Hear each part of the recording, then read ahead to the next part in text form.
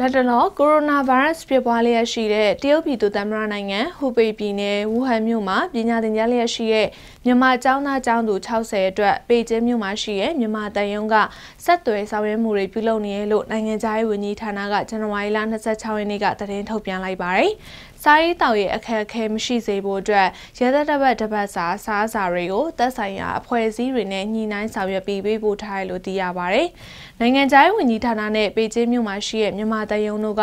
လိုအပ်တဲ့စီမံမှုတွေကိုတရုတ်ပြည်သူသမ္မတနိုင်ငံကသက်ဆိုင်ရာတာဝန်ရှိသူတွေအဖွဲ့အစည်းတွေနဲ့စဉ်ဆက်မပြတ်ပူးပေါင်းညီနိုင်ဆောင်ရွက်လျက်ရှိနေပြီးအခြေအနေပေးရတဲ့မြန်မာနိုင်ငံကိုပြန်လည်ပို့ဆောင်ပေးနိုင်ရေးအတွက်ကြိုးပမ်းဆောင်ရွက်လျက်ရှိရလို့သိရပါတယ်ရှင်။